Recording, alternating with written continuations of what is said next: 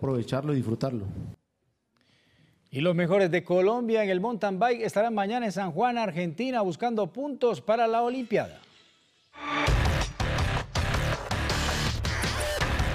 Los ciclomontañistas Jonathan Botero, Josiana Quintero y Jerónimo Bedoya estarán en el abierto a Cross Internacional en San Juan, Argentina, categoría C1, la cual otorga puntos para los Juegos Olímpicos.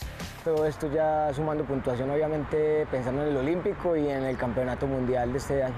Josiana volverá a las competencias internacionales luego de una lesión que la dejó por varios meses fuera de las pistas. Estamos muy con mucha incertidumbre obviamente porque no se sabe cuál será la situación real, hemos entrenado bien pero igual sabemos que el ritmo de carrera es diferente y esperamos que, que lo haga bien. En la categoría junior, el ciclista Jerónimo Bedoya buscará puntos que lo acerquen a la clasificación para el campeonato mundial en esta modalidad. Esperamos que mañana sea diferente, que consiga una buena puntuación, una buena posición y el resultado vendrá por sí solo.